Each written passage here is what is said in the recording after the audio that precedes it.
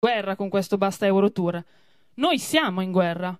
Una guerra per ridare ai cittadini le chiavi di questo paese, una guerra per la democrazia, una guerra per la libertà.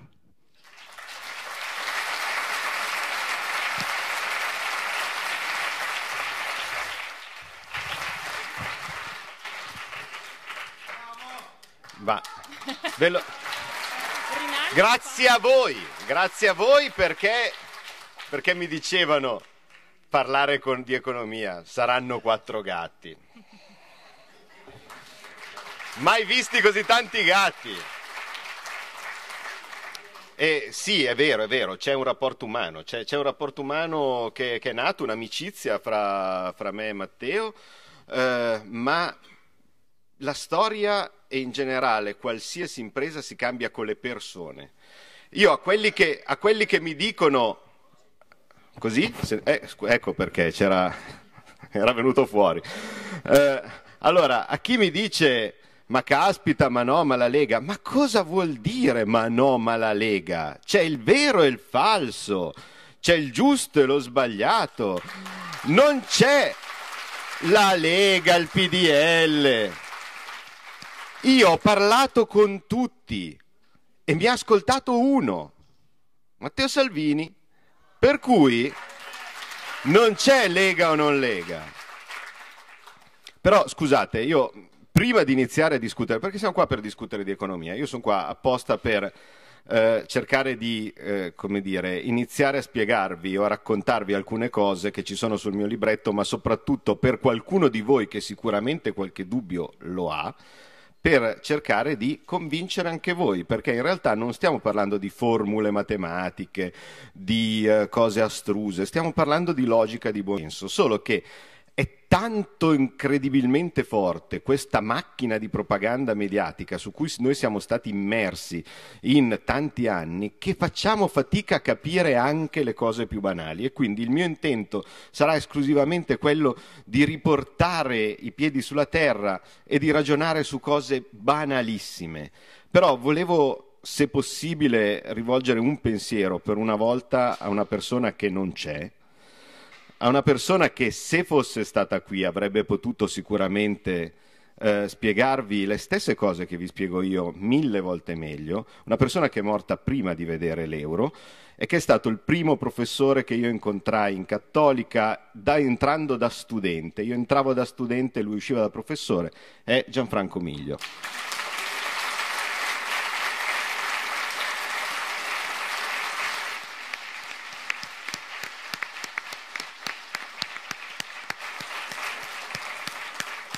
Indegnamente, indegnamente tocca, tocca invece a me spiegarvi alcune cose. E quando si parla di moneta, uno pensa sempre, ma la moneta, cosa vuoi che sia? Sarà mica importante? Io non, non, perdo sicuramente il mestiere perché c'è l'euro, qualcun altro ha l'euro e lavora. La Germania ha il mio stesso euro, va bene. Cosa conta la moneta? Non è importante. Sono abituato, lo uso per pagare, qualche volta non lo uso neanche, uso la carta di credito, chi se ne frega, non è quello sicuramente il problema. Sarà la corruzione, sarà la casta, saranno le tasse, saranno i politici, sarà la spesa pubblica improduttiva, saranno, saranno, saranno tutta una serie di cose che magari effettivamente sono nocive. E perché invece capita che uno a un certo punto si sveglia e dice signori stiamo affondando, il buco nella, nello scafo è quello lì e quindi bisogna smettere di parlare di tutto il resto prima di aver turato la falla, perché anch'io dormivo, anch'io dormivo. Io ho iniziato a lavorare come fattorino qui in Borsa di Milano eh, mi presentavo fuori sperando che qualcuno dalla borsa, sperando che qualcuno mi assumesse. Alla fine un pazzo che mi ha preso gratis l'avevo trovato. Adesso se uno della mia età, all'epoca quando ho iniziato a lavorare, 19 anni, eh, si presentasse davanti in borsa qua a Milano, cosa trova? Un dito medio di marmo. Eh? che è un bel simbolo di quello, che, di quello che, che, era una volta una delle industrie più grandi e più importanti di Milano, quella della finanza. Ecco, cos'è cambiato? qualcosa è cambiato. Non siamo diventati tutti scemi contemporaneamente. Della gente che ha delle imprese che sono aperte da centinaia d'anni, non è diventata matta di colpo, non ha disimparato a fare il suo mestiere.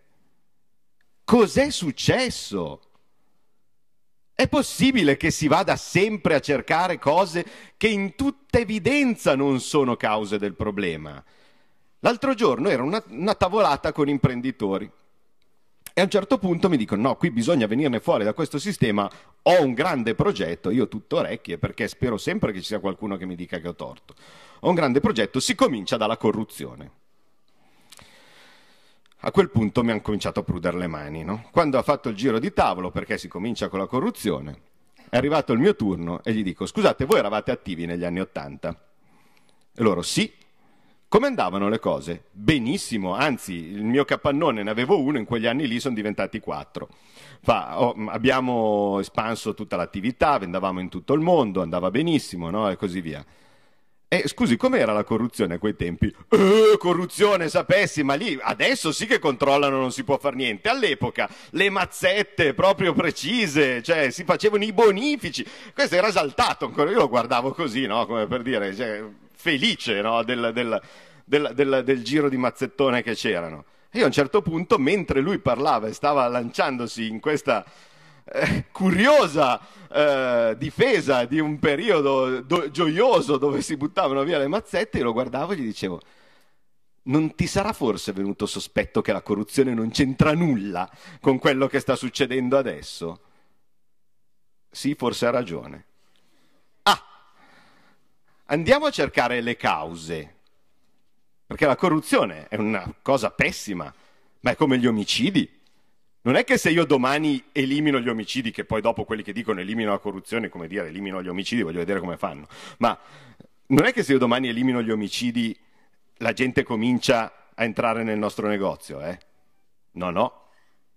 Quindi io quello che vi chiedo adesso è di fare un piccolo viaggio con me, liberando la mente e cercando di non farci condizionare da quello che crediamo di sapere. Io cercherò di essere semplicissimo, però seguitemi. Allora, immaginiamoci due regioni, che sono due stati diversi. Per comodità ve li associo a, a due, due, cose che ci sono, così non, non, non siamo troppo astratti. Immaginiamoci la Lombardia e il Veneto. Immaginiamoci la Lombardia e il Veneto che siano due stati indipendenti, simili. Ognuno... No, ma attenzione! So che vi piace l'idea, senza dubbio. Infatti non a caso scelgo questo, questo, questo esempio, ma serve per far capire una cosa perché fino adesso l'errore clamoroso che è stato fatto è stato pensare che uno Stato possa essere indipendente senza il controllo sulla moneta. Chi non ha il controllo della moneta non ha nessun tipo di indipendenza, potrà fare solo l'esattore.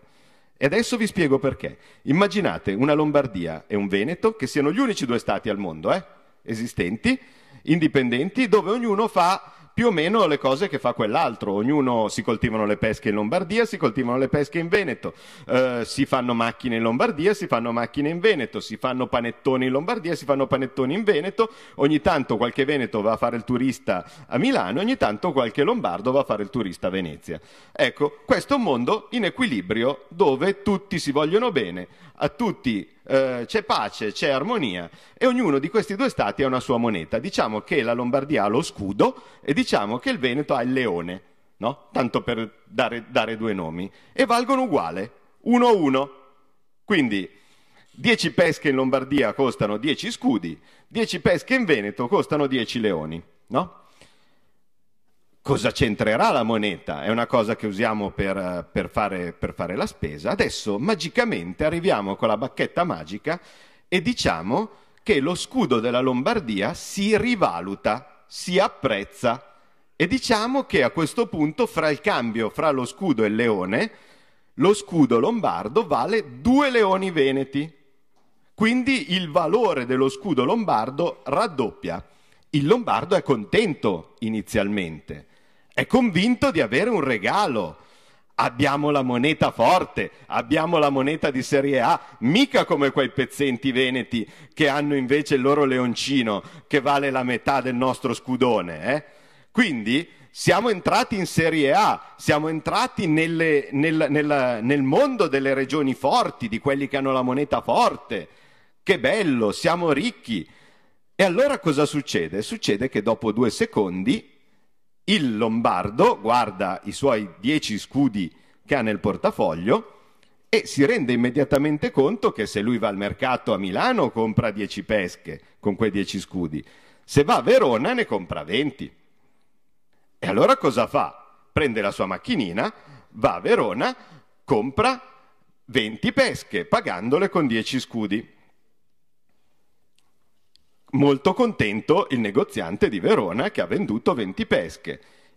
Quello che vende le pesche a Milano, vuoto il negozio. Però è contento, perché questo signore che, vabbè, oggi sì è vero, avevo il negozio vuoto, non ho venduto nessuna pesca, però devo comprare il frigorifero. Il frigorifero mi costa 100 scudi. Caspita, però se io vado a comprarlo a Padova, un bel frigorifero fatto da, da Veneti, ma è, è, è, più o meno bello come quello fatto, fatto da Lombardi, costa 50 scudi per me.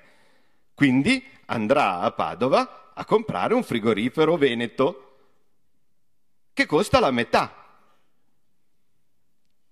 Il padovano non andrà più a visitare Milano perché le robe costano troppo. Ha uno stipendio di 100 leoni, tutte le cose a Milano costano il doppio, non ci vado più. Per il lombardo sarà convenientissimo andare in vacanza a Venezia. Oh, sono andato a Venezia, costa pochissimo, tutto costa la metà rispetto qua a Milano. Allora il Veneto che cosa fa? Comincia a mettere dei negozi a Milano, dove vende i suoi prodotti che costano la metà dei prodotti fatti in Lombardia.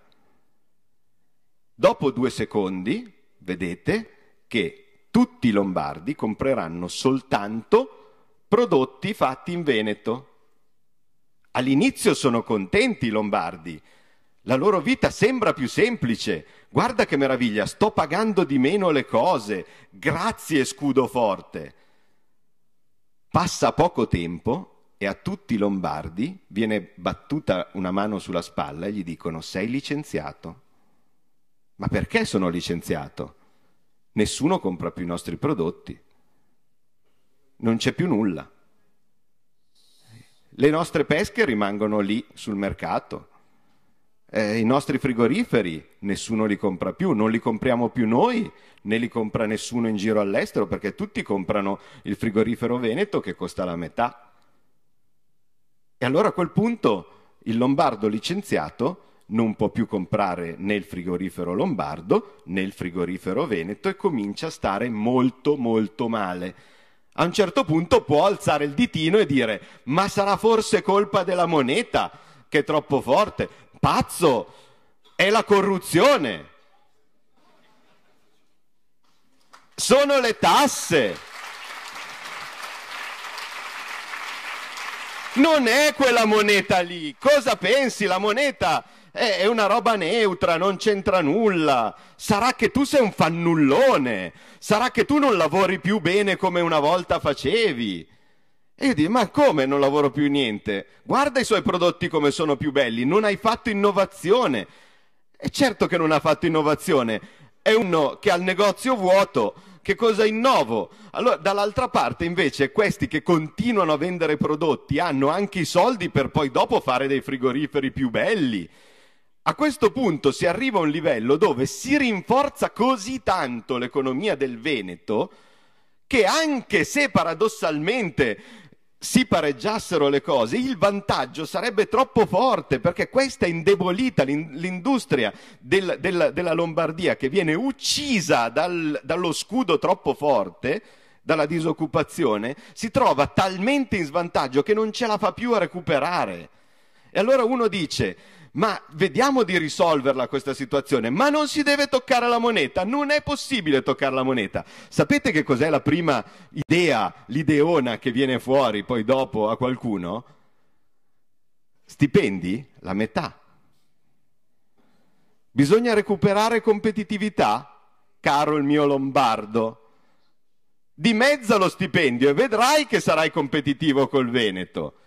E il Lombardo dice, sì, ma io per carità posso anche pensare di dimezzare la mia paga, ma poi la mia rata del mutuo è sempre quella. Ma, ma, poi dopo il latte, il pane, così, cose di questo tipo che, che, io, che io devo comprare ogni giorno, i prezzi sono quelli lì. Come faccio? Devi adeguarti. Vi risulta per caso che questo scenario, questa favola stranissima, possa un po' assomigliare a qualcosa che forse sta succedendo anche da noi? O è una cosa del tutto campata in aria? Non vi viene il sospetto che domani, se la Germania uscisse dall'euro e l'Italia uscisse dall'euro, la nostra moneta, chiamiamola come vogliamo, il fiorino, il ducato, la lira è morta, non c'è più, chiamiamola come vogliamo, la nostra moneta sarebbe un, di valore un po' più basso rispetto all'euro, invece il marco tedesco nuovo sarebbe di valore un po' più alto rispetto all'euro. Non vi viene sospetto? Vi sto dicendo una cosa strana, vi sto dicendo una cosa che non esiste, vi sto dicendo un'ipotesi campata per aria oppure è probabile che sarebbe così? Ecco, se pensate che è probabile che sarebbe così, sappiate che quella Vi ringrazio, vi ringrazio, ma ascoltatemi, applaudite dopo se pensate che avrò ragione, ascoltatemi perché è fondamentale. È la prima volta che forse da un po' di tempo a una parte vi, vi ricordano cosa sono le cause del perché si sta male qua. E si sta male qua, non è che si sta male in tutto il mondo, si sta male qua. Non c'è la crisi mondiale. Andate a Londra a vedere se sono in crisi. Eh? Andate lì. Sono stato recentemente con Rinaldi che è qua in prima fila. Eh, eh, le macchine, le limousine si sprecano, eh? Allora, immaginate quindi questa Germania che esce dall'euro e la sua moneta si rafforza, immaginate l'Italia che esce dall'euro e la sua moneta si indebolisce. Bruttissimo verbo perché fa pensare che diventiamo più deboli, più piccoli. No, diventa più leggera la nostra moneta, diventa più pesante la loro moneta. Questa differenza ognuno di noi può avere in mente quale potrà essere, 30%, 40%, non lo so. È quanto in questo momento la Germania ci sta rubando in termini di competitività. I suoi prodotti costeranno per tutto il mondo il 40% in più di quello che costano adesso e i nostri prodotti rispetto alla Germania costeranno esattamente della stessa proporzione in meno. E se i nostri prodotti costano meno, ne vendiamo di più.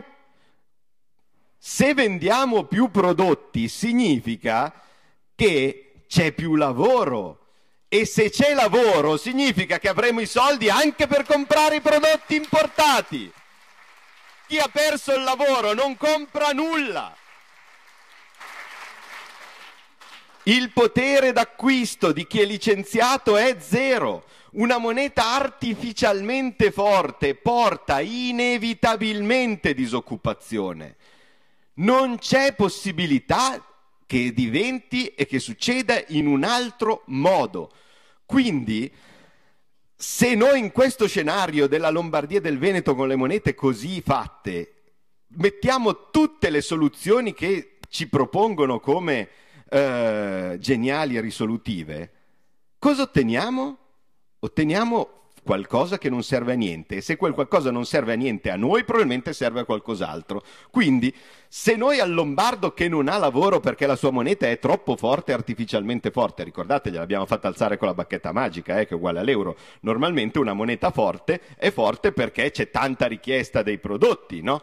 Quindi se in un paese invece c'è poca richiesta dei prodotti, allora il valore della moneta scende. In questo caso noi siamo invece esattamente come la situazione della bacchetta magica. Siamo in crisi ma abbiamo la moneta forte, è arrivato qualcuno che ci ha fatto raddoppiare il valore del nostro scudo. No? Allora cosa succede? Succede che noi lombardi siamo in questa situazione, la soluzione la state intravedendo anche voi senza che ve la spieghi io. Cosa dicono? Ci vuole la patrimoniale.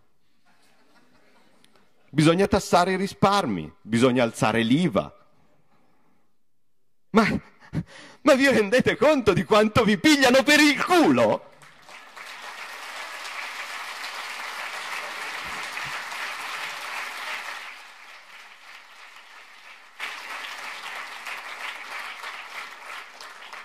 Io sono indignato, sono indignato quando ogni volta vado a parlare in televisione o cose di questo tipo su questi temi e vi dico, signori, non è che dico che ci vogliono più tasse, non è che dico che ci vuole la corruzione, sono tutte cose dove bisogna lavorare tantissimo. Ma il problema è un altro. Abbiamo una moneta troppo forte e questa percentuale di moneta troppo forte è quella che pesa su tutti. E ma qualcuno ce la fa. Ma benissimo, ma qualcuno ce la fa anche a saltare due metri. Ma non è che perché qualcuno ce la fa a saltare due metri allora tutti noi dobbiamo metterci a saltare due metri e se non riusciamo a saltare due metri dobbiamo morire. E non è così. E ma loro sono stati più forti, loro sono stati più bravi, loro hanno barato. Perché tutti i trattati erano stati congegnati in modo di favorire la Germania e all'interno di questi trattati c'erano cose ben precise come il divieto di eccesso di surplus, vale a dire di esportare troppo, il divieto di sforare il debito, no? invece loro l'hanno infranto subito il giorno dopo, il divieto di aiuti di Stato, hanno dato 300 miliardi alle loro banche che stavano per saltare tutte nel 2008 e allora loro hanno pagato 300 miliardi, hanno una banca che si chiama KFV dove hanno nascosto il 20% del debito pubblico, con quella finanziano a zero il, i, i, tassi, hanno, si, hanno creato a tavolino lo spread, perché lo spread altro non è che la paura che il debito pubblico non venga rimborsato. Il debito pubblico in tutto il mondo è sicuro Nessuno si pone il problema che non venga ripagato il debito americano il debito inglese, anche se possono essere mo- in, in, certi periodi sono stati molto più in crisi di noi.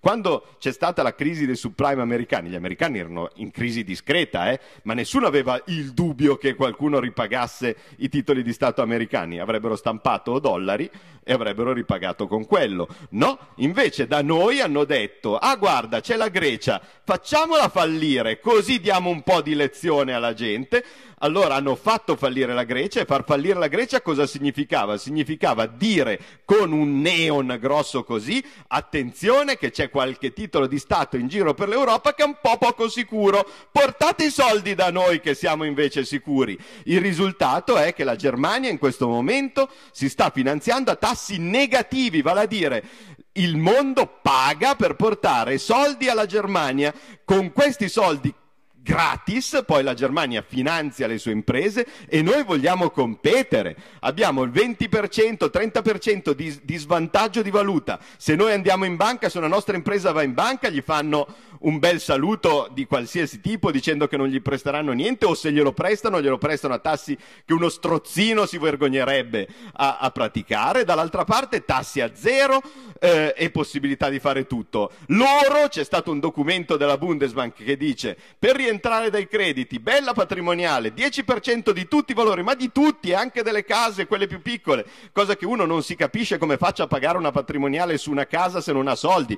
Cioè, ho, ho, una, ho, fatto, ho comprato comprato una casa, ho un mutuo e cosa, la pago con un bagno, non lo so, se mi chiedono di, di, uh, di, di, dover pagare una tassa del 10% del valore, gli do un abbaino, gli do l'ingresso, che cavolo vogliono? E poi dopo nello stesso documento c'è scritto in Germania la patrimoniale non andrà mai fatta perché danneggia la crescita.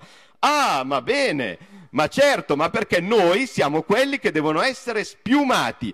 Noi stiamo pagando tutti i crediti che la Germania ha concesso a tutta l'Europa del Sud in maniera scriteriata e ce li stanno facendo pagare senza dirci nulla. Quando noi siamo andati in fila tutti, eh, perché noi siamo un popolo di gente sfaticata, di gente corrotta, tutti in fila ordinati a pagare la mini IMU tutti in fila con una formula che neanche uno, il matematico, riusciva, riusciva a cavarla, no? tutti in fila per pagare la mini IMU, questo popolo di corrotti, questo popolo di lazzaroni, eh, questo popolo di gente che non ha il coraggio delle proprie azioni, bene, intanto per i 150 milioni che servivano per evitarci questa umiliazione, perché quella è stata un'umiliazione la minimo per un, per un italiano, ecco, quei 150 milioni non si sono trovati, ma nessuno vi ha detto che abbiamo usato 52 miliardi 52 miliardi, non 150 milioni, 52 miliardi per i fondi salva stati, che significa pagare altri stati per i crediti della Germania.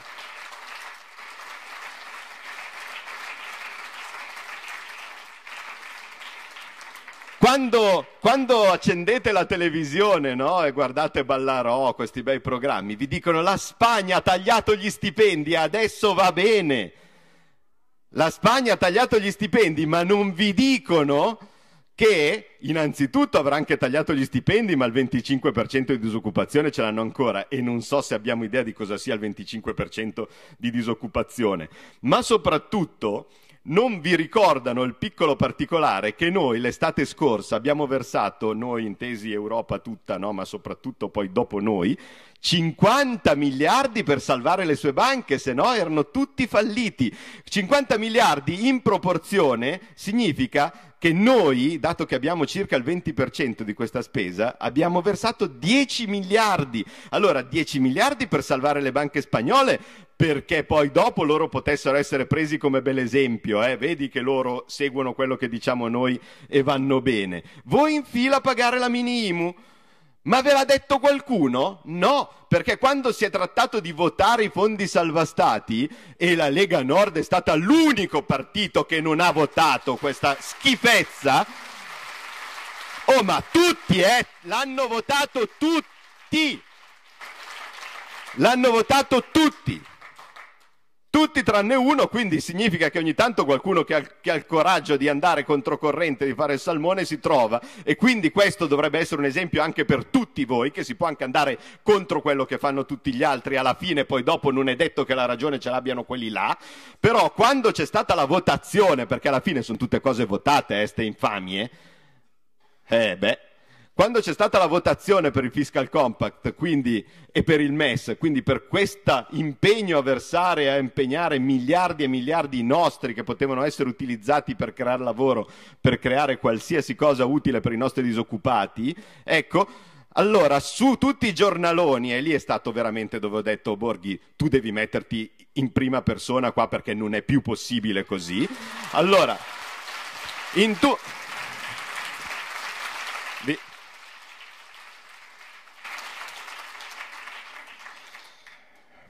in tutti i giornali non c'era una riga. L'unico che scrisse qualcosa fui io e perché lo infilai dentro in un articolo che mi avevano chiesto per un'altra cosa. Altrimenti il Corriere della Sera titolava anche libero comunque devo dire, quindi il giornale libero mh, mm, fecero, fecero due, due, cose, però sai, sono giornali considerati di nicchia e poi che dicono ovviamente il falso perché in realtà quello che dice vero è Repubblica. Allora, Repubblica titolava su Ruby, che era fondamentale, no? Il Corriere titolava sul caldo, era il 21 luglio. Io mi preoccupo, eh? mi sono preoccupato quel giorno lì, mi sono preoccupato, non sono mai stato un complottista, non ho mai pensato che ci fosse la congiura del silenzio per stare zitti, però io ero lì, ho scritto eh, su, sui social network si, si scriveva, eh, vedo moglie in prima fila può testimoniare, ero preoccupato, dice ma cosa stanno facendo, cosa stanno facendo, cosa stanno votando? Eh, scrivevo, bombardavo di tutto, no? preparavo l'articolo no? sul giornale e mai avrei pensato di vedere che una cosa così fondamentale che impegnava tanti tanti miliardi nostri venisse totalmente censurata. Quindi da quel momento lì ho capito che veramente eravamo in guerra e dovete preoccuparvi, ha detto giusto Salvini, dovete preoccuparvi perché sono disposti a tutto, sono disposti a mentire, sono disposti a qualsiasi cosa pur di tenere in piedi un sistema che se dovesse essere sbugiardato si capisce, lo capiscono benissimo che nel momento stesso in cui viene fuori la verità su tutto quello che è successo li vanno a prendere casa per casa. Per cui devono solo sperare che tutto questo vada avanti il più possibile sperando che arrivi, qualche, gli ingenui sperano che arrivi il miracolo, chi non è ingenuo sperano poi dopo di conquistarsi sufficienti prebende per poi dopo riuscire a fuggire tranquilli in Europa. E vedete che già al nostro simpatico Enrico Letta hanno già promesso il posto in Europa in modo tale da tenerlo bello salvo e bello a posto.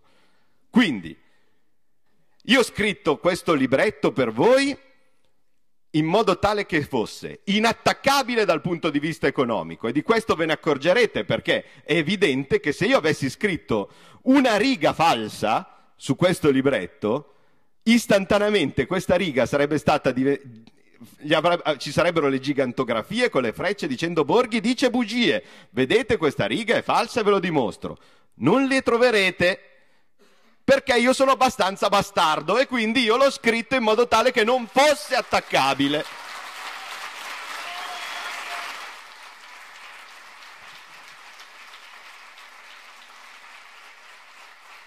Quindi, quindi voi sapete che tutto quello che c'è scritto è vero, e la fatica è stata quella semplicemente di rendere dei concetti che sono complicati, che altri studiosi molto più bravi di me, come per esempio il professor Bagnai che è stato citato prima, scrivono in libri, che quello che Matteo ogni tanto ha regalato anche a Renzi, no? per dire così magari ti documenti un po' su cos'è il, il vero, ma tanto lui lo sapeva a memoria sicuramente, quindi l'ha fatto semplicemente per ricordargli come vanno le cose. Ecco, queste sono cose scientifiche, il difficile è stato riuscire poi dopo a cercare di riportare in concetti che siano comprensibili più o meno a tutti. Quindi cerchiamo di capire, capirete anche leggendo perché tutto quello che vi dicono che è irreversibile, non si può, le carriole di monete, l'inflazione, il mutuo, eh, le materie prime, ma noi cosa facciamo? La liretta, giocheranno a palla con la nostra cosa, così, sono bugie. Cambiare si può, cambiare si deve e spetta a voi veramente prendere in mano il vostro futuro perché abbiamo dato sufficienti anni della nostra vita. Adesso basta.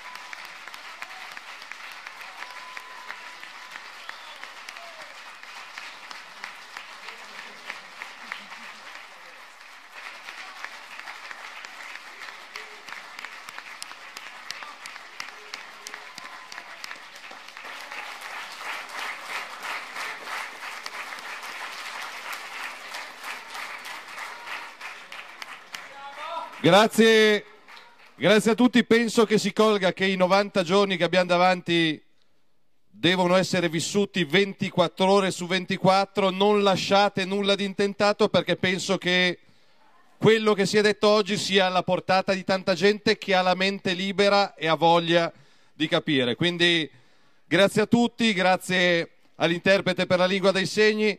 Mi hanno segnalato più di 10.000 contatti solo sul sito internet bastaeuro.org, quindi diffondete il sito da domani in ogni dove, prendete a piene mani e il quotidiano La Padania, ringrazio Aurora Lossana per, per, per il contributo che, che sta dando anche come quotidiano, usciamo di qua e cominciamo la battaglia e fra 90 giorni ci ritroviamo qua a festeggiare la vittoria di chi ha ragione. Grazie a tutti, buona serata. Grazie a tutti.